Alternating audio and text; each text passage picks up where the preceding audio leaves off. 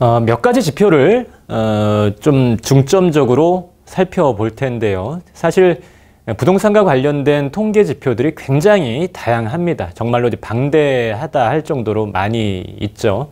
근데 어, 일반적인 내 집장만 혹은 내 재테크를 위해서 투자를 하시는 여러분들께서 그 모든 어, 부동산과 관련된 통계를 섭렵하시는 건 사실 쉽지 않은 일일 것입니다.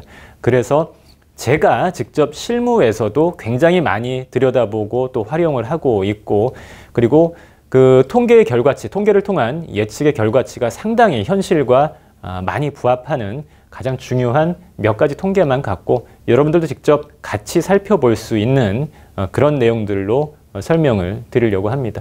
최소한 이 정도는 여러분들께서 좀 이해를 하고 계셔야 됩니다. 그렇지 않으면 제가 늘 말씀드리죠. 그냥 어, 누군가를 쫓아다니면서 어, 누구의 말만 따라서 어, 점쟁의 말을 듣고 어, 어떤 결정을 하는 것처럼 여기가 좋습니다. 저기가 좋습니다. 그냥 답만 얻기를 바라는 그런 잘못된 투자의 패턴을 계속 반복하실 수밖에 없다는 것이죠. 나중에 그 원망 그분한테 못합니다. 어, 모든 책임은 투자자 본인의 것인 것이죠. 최소한 여러분들이 어, 스스로 어, 객관적인 판단을 하기 위해서 부동산과 관련해서는 최소한 이 정도의 지표 정도는 이해하실 수 있어야 하겠습니다. 가장 기본적으로 알고 계셔야 될 부분은 음, 서울 아파트의 평균적인 매매 가격이 어떻게 움직여 왔는지 이 KB 부동산 통계를 통해서 한번 살펴보도록 하겠습니다.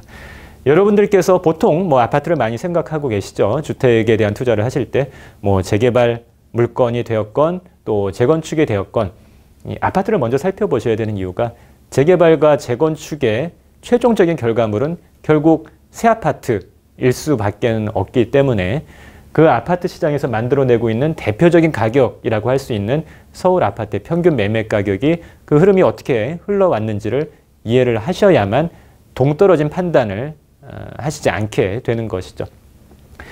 큰 흐름을 보시면 2013년도에 서울 아파트 평균 매매 가격이 저점을 찍었네요. 4억 8천 394만 원입니다. 지금 서울 아파트 평균 전세 가격이 5억 6천이 넘어가고 있는 상태이니까요. 이때 정말로 싼 가격이었다라는 것을 지나고 나서 보면 또 아실 수가 있는 것이죠. 불과 7년 전입니다. 7년 전. 그렇게 오래 전도 아니죠. 그리고 2020년 지금은 서울 아파트 평균 매매 가격이 10억을 넘겨버린 그런 상태입니다. 2011년부터 시작해서 2013년도까지는 2008년도 금융위기 그 이후에 여파가 계속됐던 시기였죠. 하우스포어라는 신조가 만들어지면서 집 사면 바보라는 어, 그런 생각도 어, 팽배했던 그런 시기이기도 했고요. 사실 정말로 가격으로 봤을 때나 그리고 대출 조건으로 봤을 때나 집을 매수하기에 정말 좋은 여건이었음에도 불구하고 어, 그렇게 세상에 퍼진 정서에 의해서 집을 사는 것을 좀 꺼려 했던 그런 시기였습니다. 그러다 보니 어, 집을 매수하지 않으면 선택할 수 있는 건 임차를 선택할 수밖에 없는 것이죠. 전세를 계속해서 선택하다 보니 전세 가격은 상승을 하게 됩니다. 그리고 금융위기의 여파로 건설사들의 재정이 악화되면서 2008년 이후에 상당 기간 동안 제대로 된 건, 건설을 건설 사업을 하지 못했고 공급량이 줄어들었던 어, 그런 시기였습니다. 사실 이때의 공급 손실이 지금까지도 계속해서 누적적으로 여파를 미치고 있다라고 판단이 됩니다. 어, 공급의 비탄력성에 대해서 말씀을 드렸죠. 어느 한순간 어느, 어떤 분의 말씀처럼 빵을 찍어내듯이 만들어낼 수 있는 것이 집이 특히 아파트가 아니기 때문에 매년도 어, 좀 변덕을 부리지 않고 꾸준한 일정량 이상의 어, 아파트의 공급이 필요한 것입니다.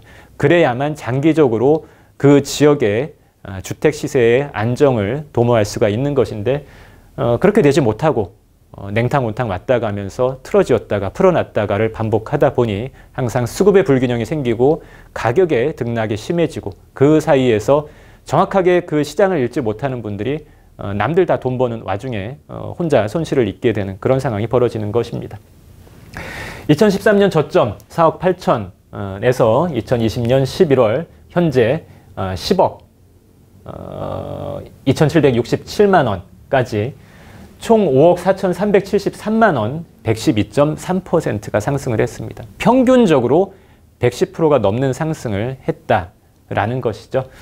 어, 그리고 동일한 기간 동안 전세 가격은 어떻게 움직여 왔는지를 한번 살펴보겠습니다. 앞서 설명드렸던 매매 가격이 어, 자산의 교환 가치라고 보시면 되겠죠. 당연히 투자 수요 혹은 투기 수요가 개입되는 어, 그런 가격이 될 것입니다. 하지만 전세 가격은 그런 요소가 전혀 없죠. 내가 이 집을 반드시 사용하기 위해서 지불하는 가격입니다. 사용 가치인 것이죠. 어, 거품이라는 것이 개입되기 어려운 어, 이유이기도 합니다. 따라서 항상 매매 가격에 앞서서 실제로는 어떤 지역의 전세 가격을 먼저 살펴보실 필요가 있겠습니다. 그리고 그 매매 가격과 전세 가격의 괴리가 어느 정도 수준으로 벌어졌다, 줄어졌다, 변동을 일으키고 있는지를 살펴보셔야 되겠습니다.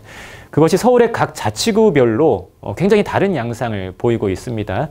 그리고 지역별 편차도 있을 뿐더러 연식에 따라서 신축 아파트의 일반적인 전세가율, 구축 아파트의 일반적인 전세가율, 혹은 재건축 대상 아파트의 일반적인 전세가율이 어, 그 성격에 따라서 나뉘어지기 때문에 그런 세분화된 어, 분류도 좀 필요하겠습니다.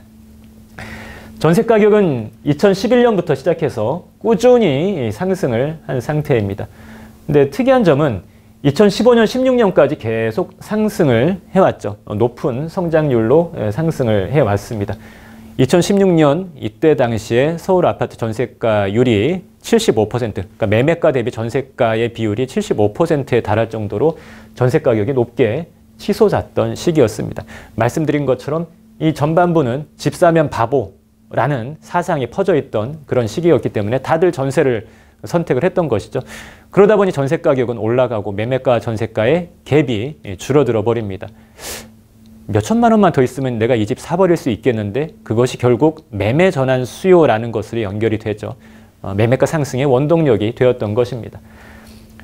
본격적으로 매매가가 더 높게 상승을 했던 2016년 이후부터는 오히려 전세 가격은 오르긴 올랐습니다만 그렇게 빠른 속도로 올라가지는 않는 모습을 확인하실 수가 있는 것이죠. 어, 그것이 2016년부터 시작해서 2019년까지에 일어났던 일이었습니다. 어, 근데, 근데 2020년 굉장히 눈에 띄게 거의 한 계단을 훌쩍 뛰어 올라 버린 것처럼 전세 가격이 현재 급등을 해서 5억 6천을 넘겨버리고 있는 상태입니다. 원인이 뭘까요? 원인이 뭘까요? 여러분들 다 알고 계실 겁니다. 임대차 3법 직후에 나타난 문제입니다. 저는 그 정책의 옳고 그름을 절대 논하고 싶지 않습니다. 투자자에게는 무의미한 일이다라고 말씀을 드리죠. 어, 그것이 시장에 어떤 영향을 미쳤는지 그리고 그 상황에서 내가 어떤 기회 혹은 어, 위험을 맞이하게 될지만 정확하게 판단을 하시면 되겠습니다. 시장에 나타난 결과는 바로 전세 가격의 급등이 되겠습니다. 어, 임대차 3법뿐만 아니라 다, 양한 굉장히 여러 가지 정책적인 부분, 어, 수급적인 부분이 또 개입을 한 것이죠. 과거와 달리 어, 집주인의 에, 주거 요건, 거주 요건이 에, 상당히 많이 생겨버렸습니다. 이 재건축에 있어서도 거주 요건이 생겨버린 것이죠.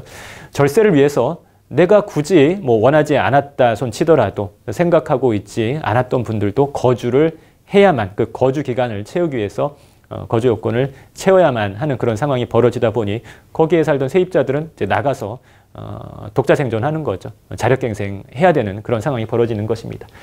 기존 주택에 대한 어, 전세 공급도 어, 그런 방식으로 줄어들고 있는 것이고요. 그리고 전체적인 신규 아파트 공급이 계속 더뎌지다 보니 신규 공급 측면에서의 전세 물량도 줄어들고 있는 것입니다. 그것이 지금 보시는 올해의 큰 상승을 만들어낸 것입니다.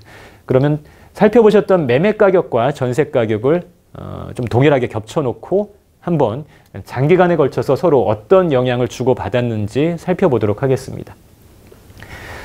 어, 위에 지나가고 있는 이 빨간색 선이 매매 가격 지수가 되겠습니다. 매매 가격이 어떻게 올랐고 내려왔는지 또 다시 올라갔는지를 표시하는 그래프가 되겠고요. 그리고 어, 밑에 이 파란색 막대 그래프가 전세가율이 되겠습니다. 매매가 대비 전세가의 비율이 되겠죠. 앞서서 살펴보시면 2001년도 9월 바로 이 시점, 2009년도 2월 그리고 바로 이 시점, 2016년 5월 그리고 2020년 11월 굉장히 중요한 이정표가 되는 어, 그런 시점이 되겠습니다. 바로 전세가율의 최고치를 어, 기록하는 그런 모습을 나타냈던 시기였습니다. 2001년 9월에 전세가율이 64.6%를 어, 기록하면서 그 시점부터 시작해서 이 빨간색 매매 가격 지수가 계속해서 줄기차게 올라가고 있는 그런 모습을 확인하실 수가 있겠죠. 그리고 최대치를 찍었던 2001년도 9월부터 시작해서 2009년 어, 2월까지 한 7, 8년 흘렀죠.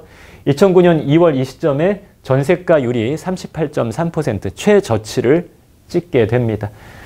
그렇게 나타날 수밖에 없는 것이 어, 전세 가격의 변동보다 훨씬 더 빠른 속도로 매매 가격 혼자 뛰어 올라가게 되면 매매가 전세가의 그 괴리는 점점 커지게 되는 것이죠.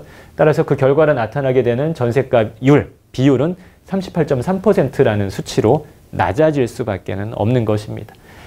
보통 이렇게 전세가율이 최고치를 찍는 그 구간부터 최저치를 찍는 구간까지 매매가격 지수가 꾸준히 상승하는 모습을 어, 확인하실 수가 있겠습니다. 이 시점부터는 이제 반대의 상황이 벌어지는 것이죠. 매매 가격이 점점 내려오면서 전세 가격하고의 차이를 좁히게 됩니다. 당연히 그 결과로서 전세가율은 다시 높아질 수밖에 없는 것이죠.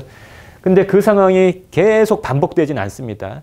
어, 항상 물극 필반이라 그러죠. 어떤 사물이나 현상이 한 방향의 극단으로 나아가다 보면 어느 순간 그 반대 급부가 나타나게 되는 것입니다. 반작용이 일어나게 되는 것이죠. 어, 매매 가격이 계속 내려와서 어, 전세가랑 붙어 버리다 시피 할 정도로 전세가율이 높아지게 되면 또다시 저거 몇 천만 원만 더 주면 내가 저 집 사버리겠는데 라는 매매 전환 수요가 이제 벌어지게 되는 것이죠. 2016년 5월이었습니다. 어, 전세가율 75%, 서울의 평균적인 아파트의 전세가율이 75%를 기록했다라는 것은 정말 역사적인 기록입니다. 따라서 그 상황에서 매매 전환 수요가 다시 만들어지면서 매매 가격 지수가 어, 치고 올라가는 그런 모습을 확인하실 수가 있겠고 전세가율은 그 후로 점점점 내려오고 있었습니다만 보통 앞서서 보셨던 한 번의 큰 상승 사이클에서는 전세가율이 고점을 찍고 꾸준히 내려오면서 매매 가격 혼자 어느 정도 기간 동안 올라가다가 이제 하락 전환하는 그런 양상으로 어, 진행이 됐다면 지금은 양상이 좀 다릅니다. 어, 그래프가 좀 작아서 안 보이실 수도 있겠습니다만 전세가율이 지난 3개월 동안 계속 올라가고 있습니다. 매매 가격도 올라가고 있습니다만 아파트 전세가의 상승 속도가 매매가의 상승 속도보다 빠른 구간으로 다시 진입하고 있다는 것이죠. 따라서 아파트 가격이 상승하는 와중에 전세 가격이 다시 그 이상으로 뛰어 올라서 아파트 매매가 전세가의 차이를 좁혀주면서 전체적인 상승의 기간을 더 연장시켜 버리는 결과를 나타낼 수밖에 없는 구조로 나아가게 되는 것입니다. 어, 이것을 다른 측면에서 또 한 번 살펴보도록 하겠습니다.